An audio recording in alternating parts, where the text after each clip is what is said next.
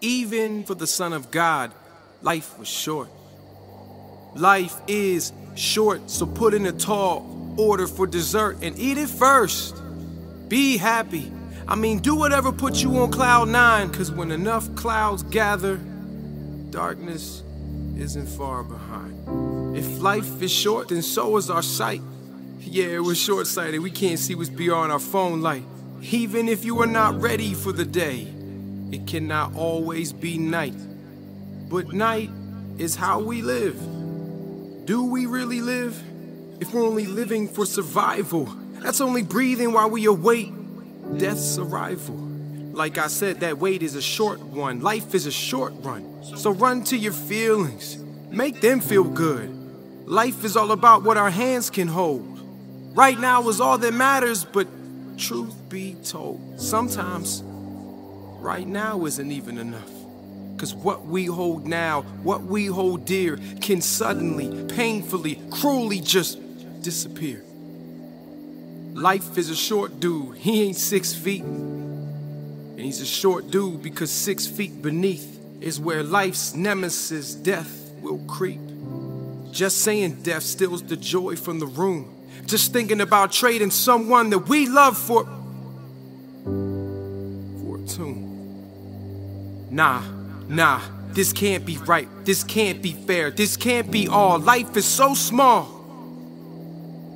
And death, it knows no partisanship. It only knows how to part a relationship. It only offers loss. It only serves tears. It only comes at the worst of times. It only steals years.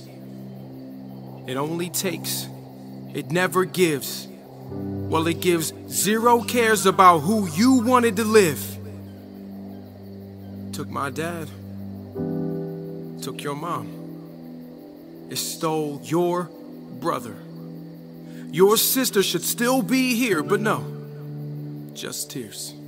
And we would beg and beg for us to be the one, and yet death still had the apathy to come for your son. You're a little girl who is safe in this world. Even Jesus. Lazarus was his friend, and he cried when he arrived to find him dead. Death didn't stop until it even claimed Jesus in the end. Are you just trying to survive until you die? Or are you truly living? And is it possible there is something even better than life itself? We've all been to far too many funerals over the past two years. And that's right. We've, we've buried those we've loved.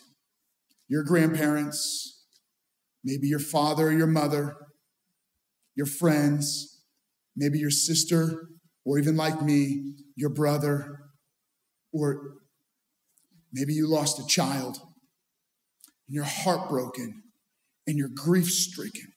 But what compounds the grief is not just the loss, but that it forces you to face your own mortality. You begin to wrestle with the questions and the meaning. I know for Laura and I, after my brother's funeral, we felt like we needed to, you know, look at our own will, have conversations about preparing for our own passing. Would our family be in order? Would they be okay? No, they're not going to be okay. But have we done everything we can to put things in order? And so, how are you handling it? You know, facing the reality of death. Maybe for you, the way you've dealt with it is just ignore it, you know, denial. Maybe you've gotten angry. Hey, that's a part of grieving. Maybe you're bargaining. Maybe you're in depression. Maybe you're living in fear, terrified by the possibility of death hitting your door. Or maybe, maybe you're driven to just take advantage of every moment, trying to seize the day, aware that it could pass at any moment. But you know, funerals are not just a place and space to celebrate the life and mourn the death of the one you've lost. It's a sacred space. You know, it's a space where the temporary meets the eternal. Because you and I both know that when you go to a viewing or after the funeral and you, you're looking at the body, we've all said they're not home. Their body is just a, a shell. What does God have to say about death? Well, I appreciate that in the story of God, as he interacts with man, man, God did not avoid the issue of death. I mean, it does seem unavoidable. But as you go through the story of God in the Bible, you discover that death is an important part of that story. God hit it head on. In fact, Jesus himself faced death head on. But he didn't just face death head on in his own life, he lost those he loved. In fact, one day Jesus shows up days late to a funeral, to the funeral of his friend and a family that he loved. The story is recorded in the Gospel of John. John's an eyewitness to this moment where Jesus and his friends, his closest friends, his disciples, they show up days late to a funeral of their friend Lazarus. And so I'm going to read it uh, in John chapter 11. On his arrival, I meaning when Jesus showed up, Jesus found that Lazarus had already been dead in the tomb for four days. He wasn't just a little late to the funeral. I mean, he shows up days late. And maybe you feel like that. Maybe you're looking around going, Where was Jesus? He's late to the funeral. In fact, that's how the family responds. Lord, Martha said to Jesus, if you had been here, my brother would have not died. Right? She puts words to how we all feel. Jesus, if, if you had been there, they wouldn't have passed. If you had done a miracle, if you had healed them, they would still be here. Why? Because we, we, we recognize life's futility and death's finality. And what we want is for God to show up and do a miracle so that we could still have them with us. They could be alive a little bit longer, maybe one more moment, one more day. Maybe you feel like they should have had an entire lifetime ahead of them. But God, through the person of Jesus, He offers something better, better than what we had before. Because what we want is longer life for those we love and for ourselves. But God always offers something better. That's right. So it's a challenge and an invitation. Don't just live longer, live forever. That's right. You're invited not just to have longer life, but to live forever. This is the message and the meaning of Easter. It's not just a message that Jesus preached or a message Jesus shared. It was a message he lived and died. It was the mission of his life to invite us to not just live longer, but live forever. Because the reality is, we have lost loved ones and we will again. We've grieved and we will grieve more. But have you ever noticed something interesting at every funeral? We have this feeling this is not how it's supposed to be. There's something deep inside of us that said, yes, even though death is such a natural part of life, it wasn't intended to be this way. That's right. You're absolutely right. We were never meant to die. It wasn't meant to be this way. No, we live in a broken world where life itself is broken as a result of something spiritually broken in the world around us and in us. That's right. You and I are spiritually broken. Those you've loved are spiritually broken. And this curse, this spiritual curse, causes a natural death. The symptom of this spiritual curse is death itself. That spiritual curse is called sin. It has ruined the world we live in. It's ruined history. It, it ruins your story and my story and their story. Sin infects anyone and everyone, and no one escapes it. Sin is being separated from God forever. But God, but God shows up and He intervenes in our story and their story, and He intervened in Lazarus' story. He gave Martha this promise, and it's a promise that he gives to every one of us. He said, I am the resurrection and the life. The one who believes in me will live even though they die. It's a promise. And whoever lives by believing in me will never die. And then he asks Martha, Do you believe me? Do you believe this? And that's what I would challenge and ask every one of you. Do you believe this? That Jesus is the resurrection and the life. It's what we celebrate at Easter. It's the whole story and the promise of Christianity that death doesn't get the final word. Life doesn't end in death, death ends in forever life. And so, why did Jesus come? Just to show up late to a funeral and give a promise that I am the resurrection and the life? No, he came to take on our fight with death itself, to take on the curse of sin. And so Jesus, he didn't just give a promise to Martha and the family, he fulfilled that promise later in his own death. He had to die. He had to die to take on the curse of sin because the sin inside of every one of us, the curse leads to a forever death. I don't just mean non existence, I mean a forever separated from God and all that is good in eternal judgment. That's the bad news. But the good news is that when Jesus died, he faced our fight with death and he died in our place, but not just a physical death. Jesus on the cross was absorbing our eternal judgment. He absorbed all of the eternal shame and guilt, the eternal payment that we owe for the sin that's cursed our hearts. So when Jesus died, he died once for all. But in the power of his resurrection, the victory of his resurrection, when he rose from the dead, he gave us the promise of eternal life so that he could fulfill a promise he gave to a grieving family. You see, Friday, Jesus was crucified, not because he deserved to die, but because we deserve to die.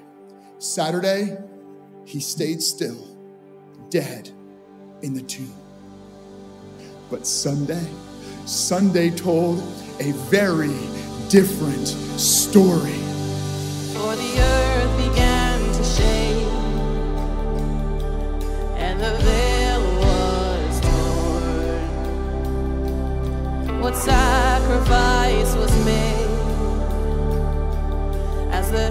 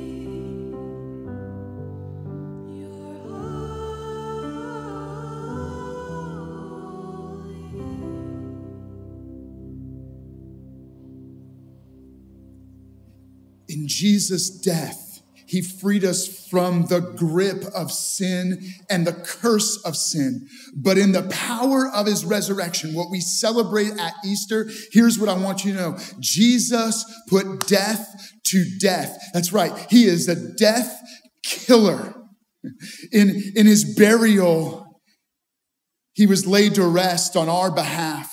But in the power of his resurrection, he gave us victory over death. He conquered and defeated the power of eternal judgment and set us free. That's the promise. That's the hope. Now, as you jump back into the story of Lazarus, Jesus gave this promise I am the resurrection and the life. Now, I'm going to give away the rest of the story. In a few moments, Jesus was going to call out Lazarus' name and he was going to rise from the dead and Jesus was going to restore Lazarus back to his family and friends. But there's a gap. There's always a gap between the promise and the reality. And right now, you and I live in the gap. We live between the promise that Jesus is the resurrection and the life and seeing that in the reality of heaven. And what does Jesus do in the gap? Well, if you go back in the story, there's this moment. Jesus says to Martha, I am the resurrection and the life. Do you believe this? And then he says this Where have you laid him? He asked. Come and see, Lord. And as they walk to the tomb where Lazarus was buried, says, Jesus wept. The shortest verse in the Bible. And so often when I've read that verse, I thought it reveals Jesus' humanity. It reveals his compassion and his tenderness. But there's something more there. Between the promise of the resurrection and the life and the reality of seeing that resurrection lived out in your life and seeing those again who you've lost and loved, but meeting them in eternity, right? In that gap, you know what God is doing with you? He weeps. You're weeping. You feel the hurt and the pain, you feel the grief. And Jesus, in that gap between the promise and the reality, weeps with a broken family. He weeps with friends. And I want you to know that God weeps with you. That's right. You have a God who weeps in your grief, in your loss, in your pain. You have a God who knows you, who loves you, who sees you, who feels that, even though he knows he's giving resurrection life, even though he knows he's going to raise the dead, even though he knows in an instant death gives way to life, he still grieves with those who grieve. He still weeps with those who weep. But then there's this moment. When he had said this, Jesus called in a loud voice, Lazarus, come out. And the dead man came out of the tomb. And I'm like, come on. Are you kidding me? That's right. Jesus raises the dead back to life. But I want you to catch something. It's, it's vitally important, both in this story and as we celebrate Easter. It's this that resurrection life is better than longer life. It's important. It's important to take that to heart. What God gives in resurrection life is better than just living longer. I know. I know that you want those who you've loved to live longer. And I know for many of us, we just want longer life. But what God gives is better than what you've ever had before, and that is He gives resurrection life. So let's look at the difference between Lazarus' resurrection and Jesus' resurrection. See, when Lazarus was resurrected, he would still get sick again. He, he was going to have to face death again. The, the curse of sin was still going to be at work in his body, leading to an eventual death. And without spiritual life at work in him, he would not only die again physically, but he would be facing a forever death without Jesus' resurrection. But when Jesus died, he died for all of us. And when Jesus rose, he rose in victory over death itself. His resurrection allowed for all of us to experience resurrection. See, resurrection life is not a religious experience. This isn't that you and I are all through faith just facing our version of eternity or some promised mystical hope in a heaven. Resurrection life is found in the person of Jesus. Without Jesus, no life. But when you know Jesus, you know true and forever and eternal life. See, what God does is He plants the seed of resurrection life inside of you right now through faith in Jesus. And when you have that seed of resurrection life inside of you, what he planted in Lazarus, what he offered through his death and the power of his resurrection that we celebrate on Easter is that resurrection life can be planted inside of anyone and everyone who believes in Jesus by faith. And whether anyone sees it or not, when you've got resurrection life growing inside of you, like a seed that begins to germinate, the roots begin to grow, resurrection life begins to grow deep down into your heart through your spirit. It begins to grow roots into your emotions and into your thinking, into your actions and your behavior. So when someone dies, they didn't live longer, but they know Jesus They've already had resurrection life growing in them, which is better than longer life, and they just transition.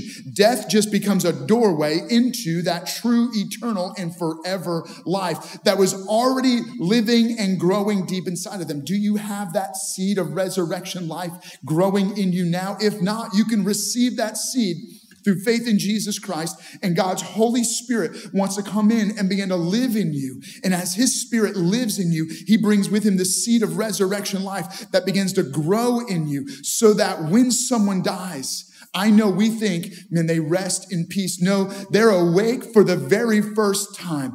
They're going into darkness. They're going into the shadows. No, when they die and they're, they're alive in eternity and in paradise, they are awake for the very first time. They see for the very first time. They experience light and life in a way that you and I could never experience it in this life.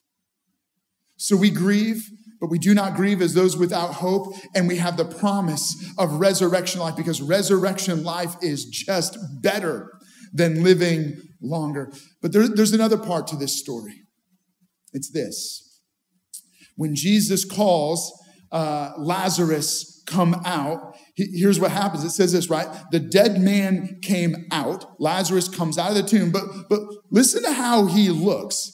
His hands and feet are wrapped with strips of linen and a cloth around his face. And Jesus said to them, Take off the grave clothes and let him go. This is an interesting story. I mean, Jesus has the power to speak, and life enters a dead man. I mean, you don't think that he could have spoken and his normal clothes would have been on him?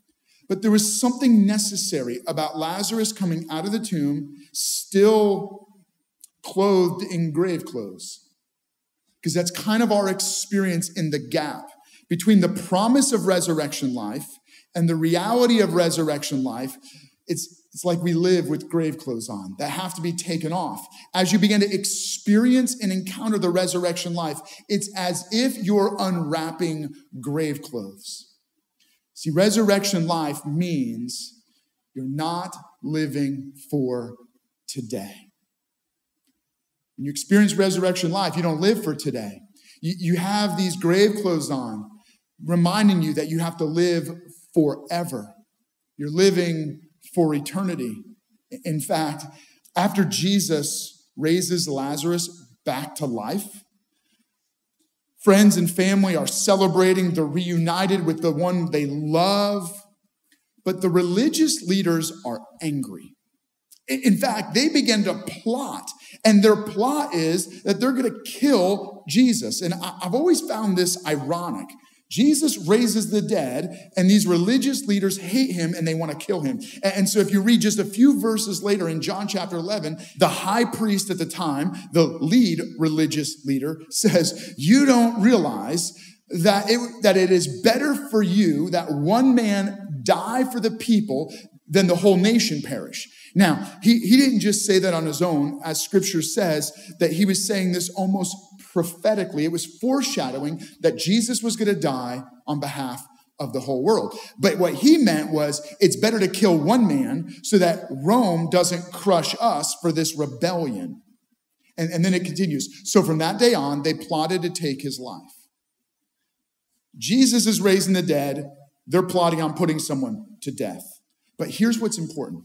In that moment, what you recognize is that Jesus wasn't living for today. He was on mission, and his mission was a message of resurrection life. And his, miss, his mission was to die so that we could live forever. His mission was the cross and the empty tomb for you and I.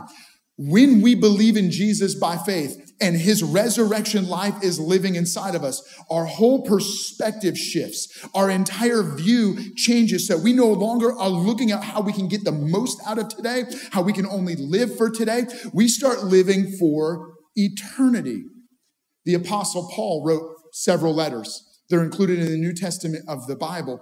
One of them is uh, his first letter to the church in Corinth, where at the end of the letter, He's, he's uh, recognizing that people wrestle with this idea of what does resurrection life look like inside of us. And he says, you know, the body that you're in is nothing like the body you're going to experience in eternity.